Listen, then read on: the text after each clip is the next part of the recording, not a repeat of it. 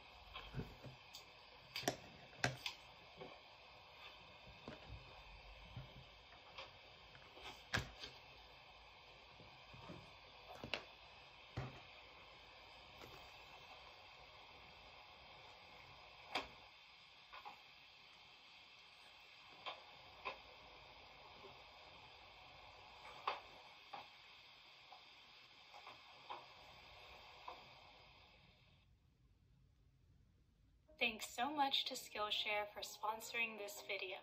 I genuinely love their online learning community because there are thousands of classes on topics like video editing, painting, and self-care.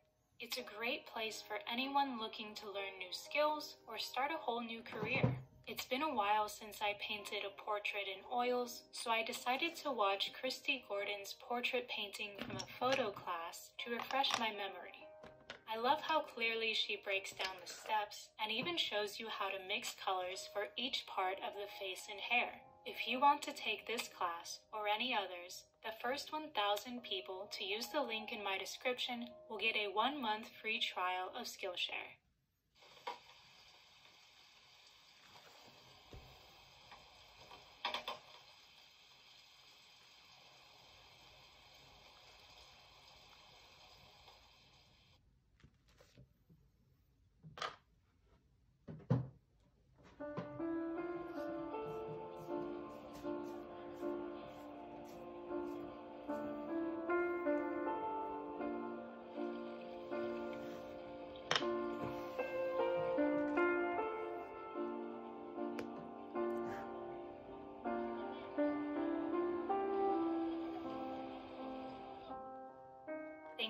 Much to Squarespace for sponsoring today's video.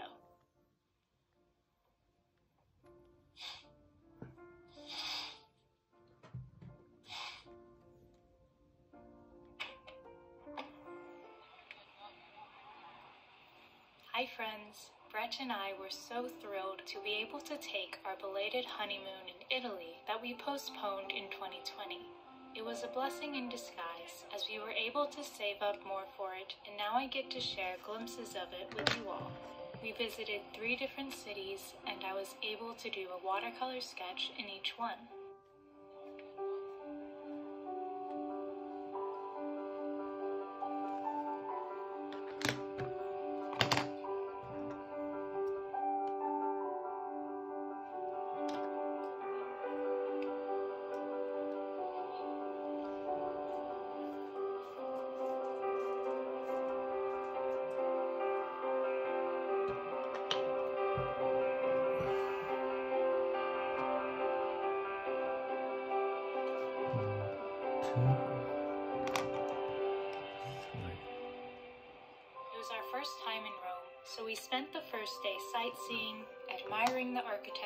Visiting historical sites like the Colosseum, the Roman Forum, the Pantheon, and of course enjoying the food.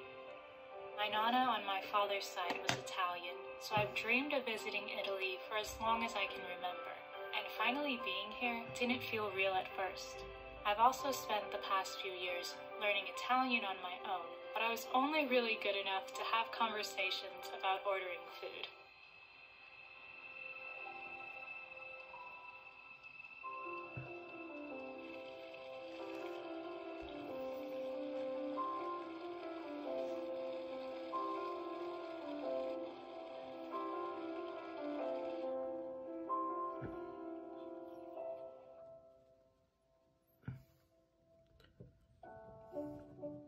Next day, I focused on finding a place to do a watercolor painting. It seemed like every corner and street was painting worthy. However, I've learned from my past plein air attempts that finding an area that's less crowded, shaded, and with a place to sit is important too.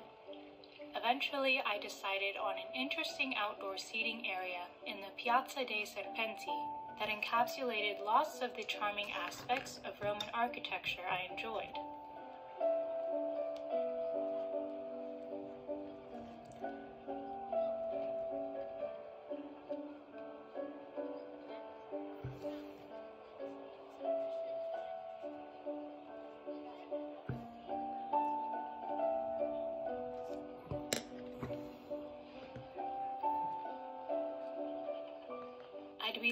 I said I wasn't nervous painting in such a populated area in a new country.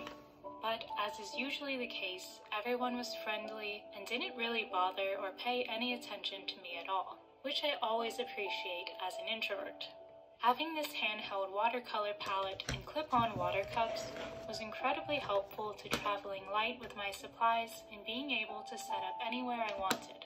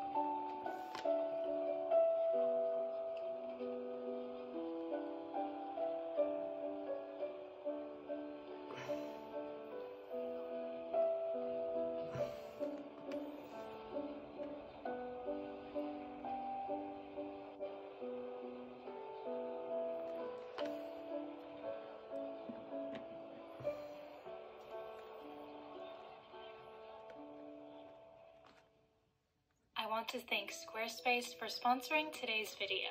I love their platform for so many aspects of my art career. Even while I was out of the country, I was able to edit my online store, to update shipping times, and keep track of my inventory. Another one of my favorite features is their online portfolios and They make it so easy to display your work in a professional way. They also offer print on demand extensions that can help you start selling your art without investing in things like a printer or packaging supplies right away. Head to squarespace.com for a free trial, and when you're ready to launch, go to squarespace.com forward slash Ashley King to save 10% off your first purchase of a website or domain.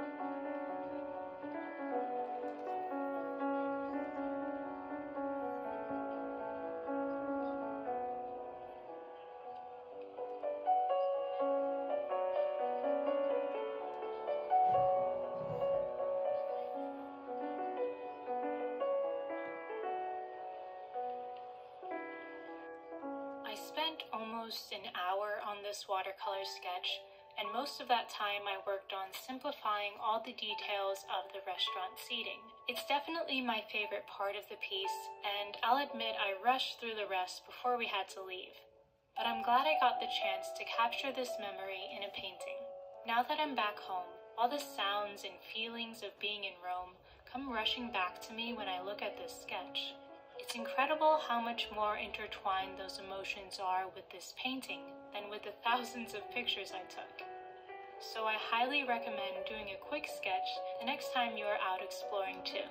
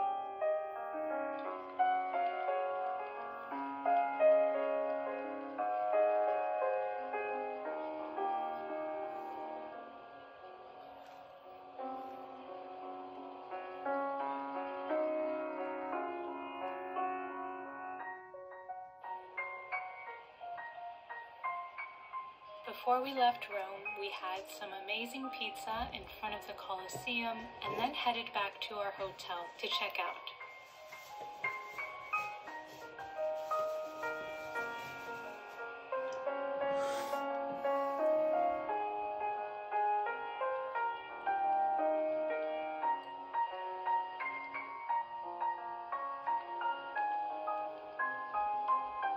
We of course grabbed one last gelato and boarded our train to Florence. Thanks for joining my art journey today. Wishing you the best, and I'll see you soon.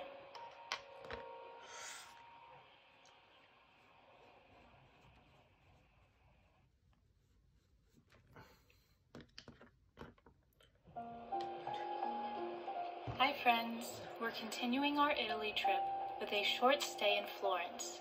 This might have been my favorite city of the three that Brett and I visited. The Renaissance influence on architecture and art filled the streets, and many areas had a charming neighborhood feeling. I'm glad you're joining me today. Thanks so much to Squarespace for sponsoring today's video.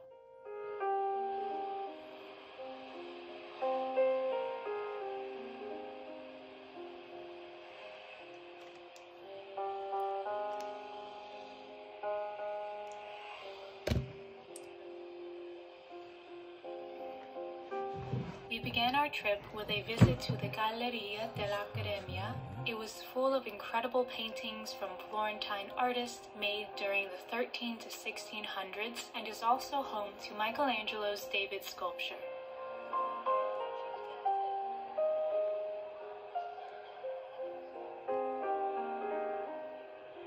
This is about as much of it as I can show on here, but it was unbelievably detailed and such a wonder to admire in person. You can even see every chisel mark he made when you're up close to the sculpture.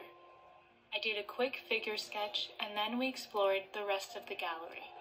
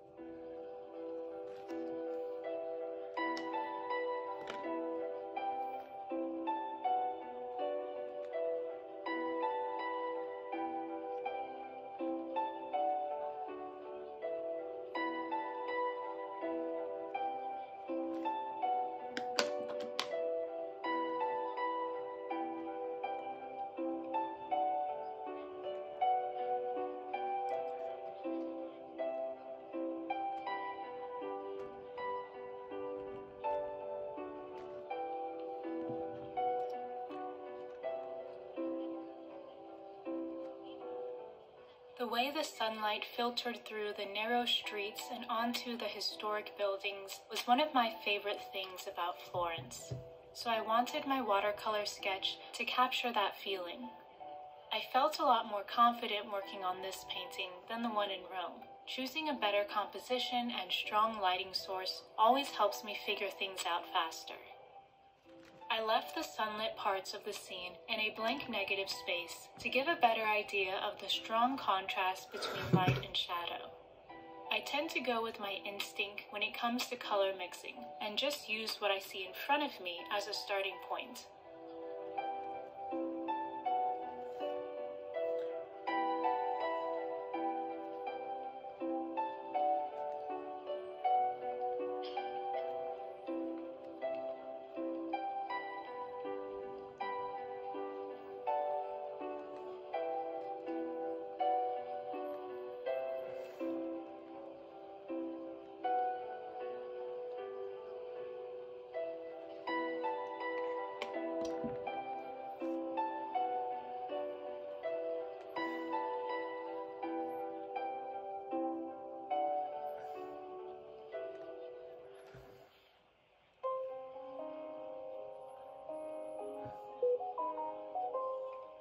Doing these urban paintings has taught me to move quickly and not spend too much time thinking, if that makes sense. I found that the more I fake confidence in brushstrokes and color choices when I'm really not that sure, the better it turns out. Not to mention that I don't want to keep Brett from continuing exploring for too long, though he is always very patient with me and kindly helps to film these painting scenes.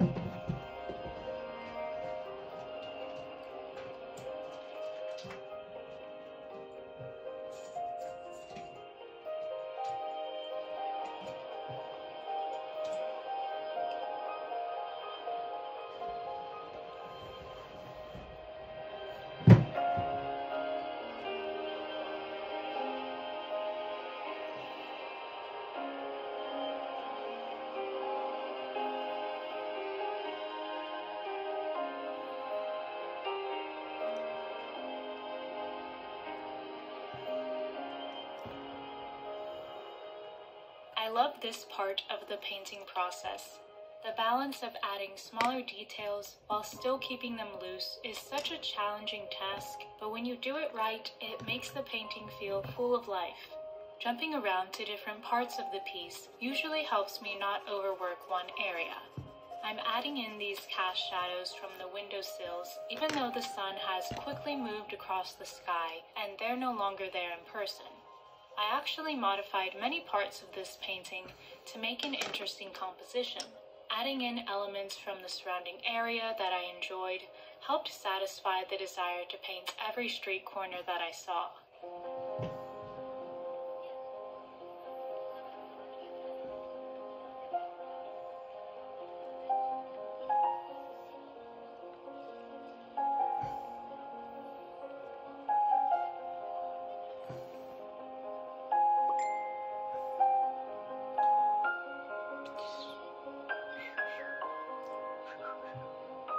A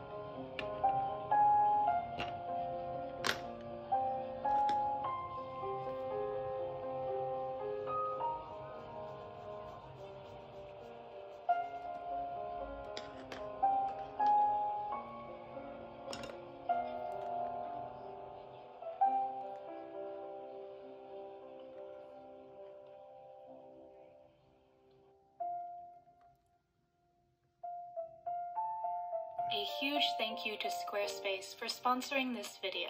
I'm in awe of the online store I was able to create on Squarespace. They have so many templates that you simply upload pictures and text to, and you'll be ready to sell in no time. I can also update my gallery of paintings to show clients with their easily customizable online portfolios. They also allow you to link your social media accounts, so you can automatically share website content to your channels. Head to squarespace.com for a free trial, and when you're ready to launch, go to squarespace.com forward slash Ashley King to save 10% off your first purchase of a website or domain.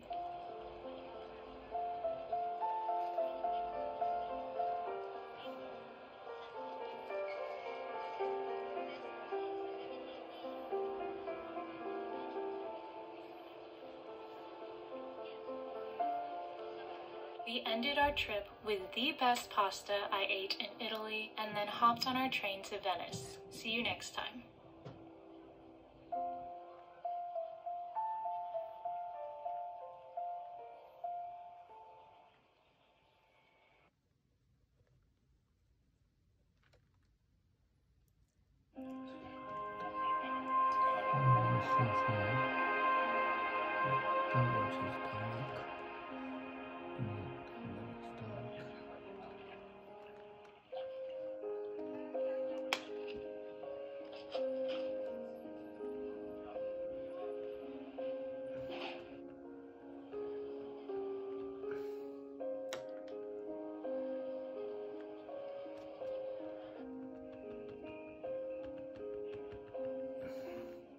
Hello, friends.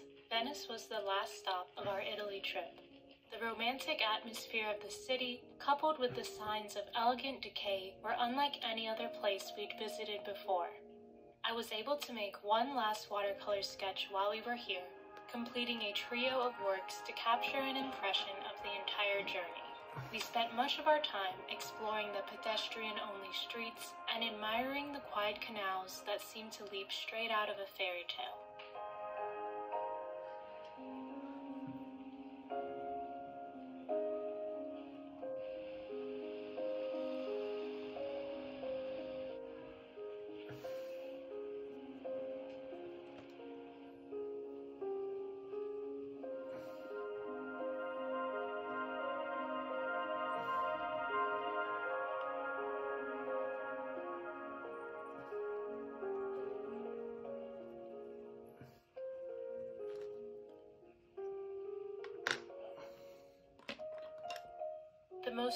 Most important excursion for us during our short stay in Venice was taking a gondola ride.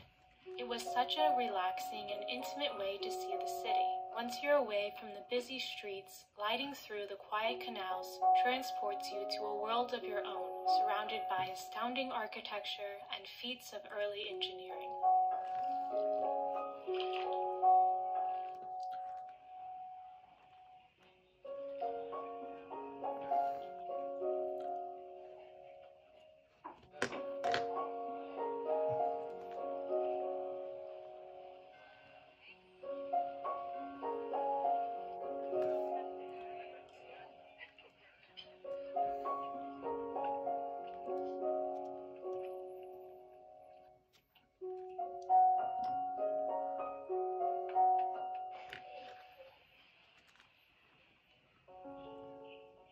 Spent the last morning in Venice finding a place to paint. I knew I wanted to capture one of the many bridges over a small canal with some boats floating in the water. Those subject matters became the focal point of this scene, and I tried to keep the other parts of the painting less defined in contrast. Painting wet paints into wet paints helped the background to blur and bleed into each other, giving it the out of focus effect I was going for.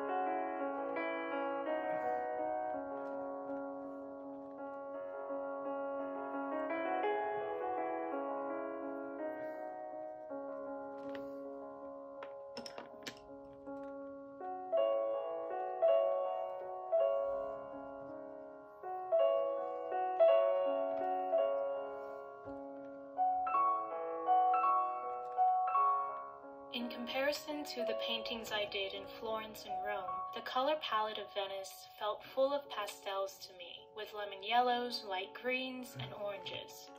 This could have been exaggerated by the mostly overcast day, but putting in these washes of colors early on really helps to capture the mood of the scene.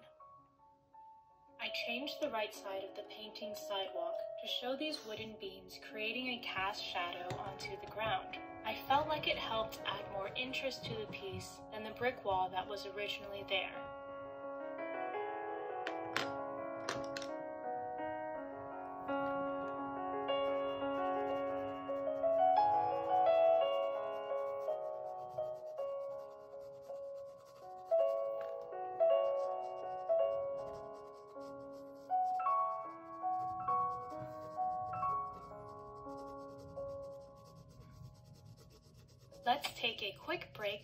Skillshare for sponsoring this video. I use Skillshare's online learning community on a regular basis to explore my creativity and learn new art skills. They have so many classes on things like watercolor painting, video editing, and building better compositions. I always return to Marco Bucci's sketchbook painting classes anytime I'm going to be urban painting during travel. He does an incredible job of explaining all the supplies you'll need and how to use colors to express emotion and capture the feeling of a place. His focus on shifting warm and cool colors when painting outdoors has been the biggest improvement to my painting so far. If you want to take this class or any others like it, the first 1,000 people to use the link in my description will get a one month free trial of Skillshare.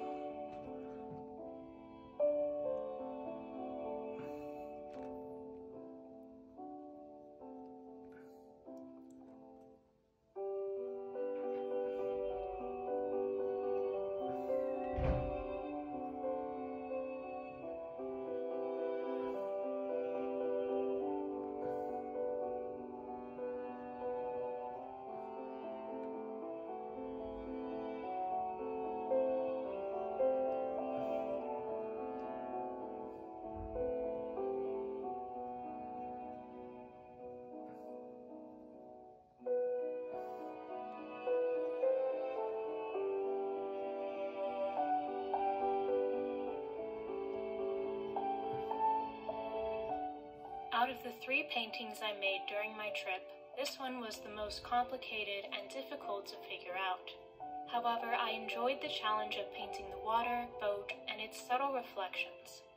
A breakthrough moment for me in this painting was choosing to merge the shadows of the bridge and the water underneath. I think this helped to simplify that area so it reads more realistically, even though I could see more definition in real life. I'm happy with how this painting turned out, and feel like it gives off a different atmosphere than my typical urban sketches. I hope you like it too.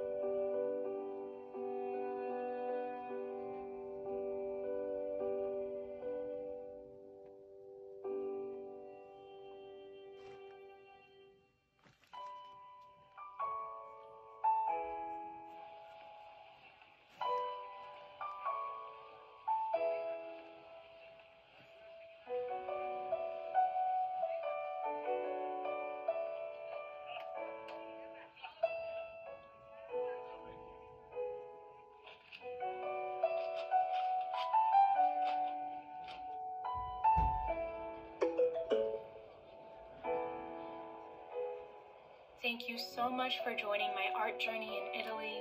It was an incredible time, and I'm glad I got to share parts of it with you all. I'll be selling prints of all of these paintings I've made in Italy in my shop in the near future, so keep your eyes open for that. For now, I am wishing you the best,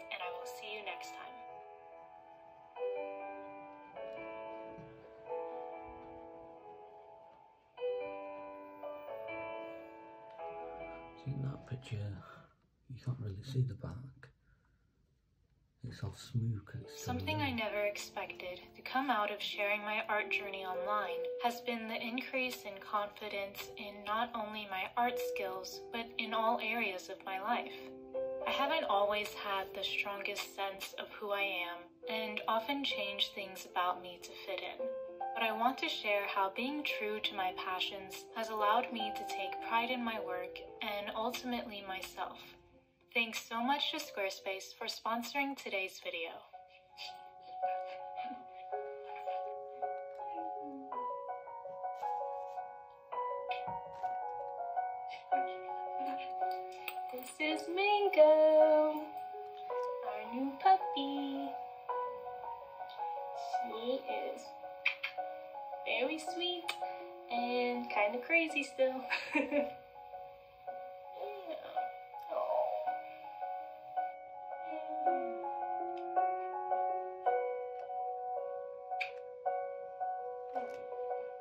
Hi everyone, I am oil painting today and I'm so excited. I feel like it's been so long since I've done any painting with oils. I've been out of town and I was using watercolor paints and then I've spent the past few weeks editing a lot and we got a new puppy that you saw. So life has been busy, but I'm excited to get the chance this week to paint a ton. I want to do kind of two portraits or figures that work together. One painting for this vlog and then another painting for the next vlog. And I have found some reference photos that I want to use online that I'm going to buy so that I can have really good quality references to work from. I found that that is super important to me getting a painting that I really like. Mango is finally asleep, so I'm going to try to get a few hours of work in. You might see her running around a little. She has a lot of energy still, um, but she's been so much fun.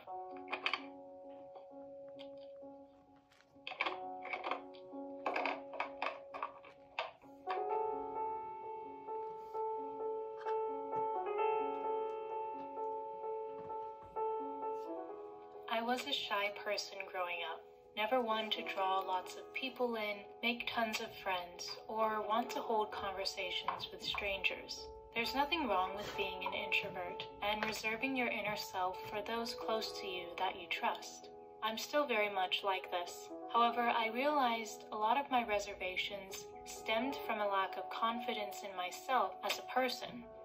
I cared too much about what people thought of me or how they perceived me. I would lie awake at night replaying conversations I'd had, feeling like I said something weird or wrong. It wasn't until I started sharing my art journey with others that I realized not everyone will like you or your art. They may not even understand you or care that much about you. It's been very freeing to come to terms with this. Artists are faced with the criticism of others about their work, maybe more than any other profession. So, learning to accept criticism without spiraling is a necessary part of life. It's allowed me to gather my sense of confidence from within and not from what others think of me.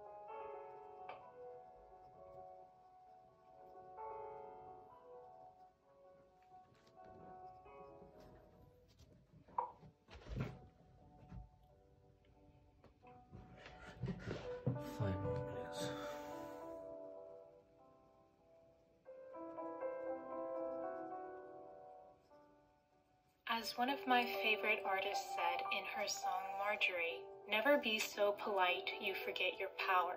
Never wield such power you forget to be polite. As an Asian woman, I feel like this is something I've struggled with that has hurt my confidence in the past. We often feel like we have to be quiet, demure, and not cause problems.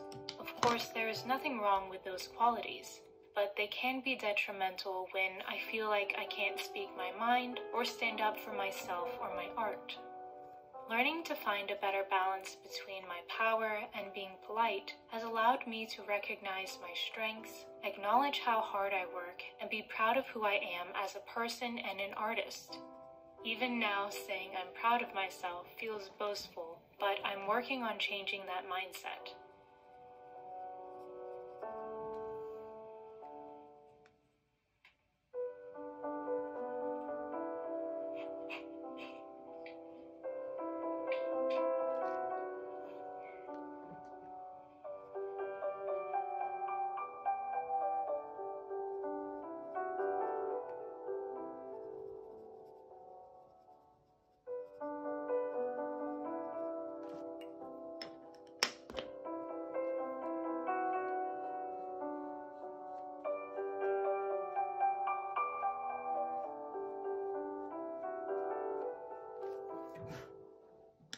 Using a reference pack that I bought from Howard Lyon that Chelsea Lang recommended in one of her videos.